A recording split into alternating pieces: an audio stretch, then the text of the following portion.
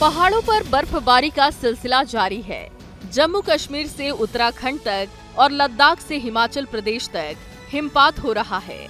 पहाड़ की चोटियों से लेकर घाटियों तक कुदरत की सफ़ेद चादर बिछ चुकी है। रविवार से शुरू हुई बर्फबारी रुकने का नाम नहीं ले रही।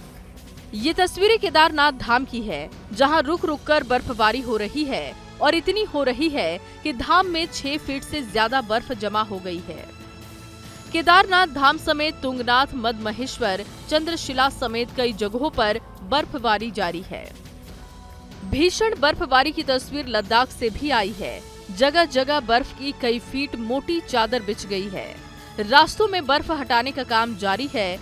लद्दाख की तरह जम्मू कश्मीर में भी बर्फबारी का सिलसिला जारी है। फरवरी में इतनी ज़्यादा बर्फबारी से यहाँ आए सैलानियों के चेहरे खिले हुए हैं। इस बर्फबारी से आगे भी टूरिज़्म बढ़ने की आस से स्थानीय लोग बेहद खुश हैं।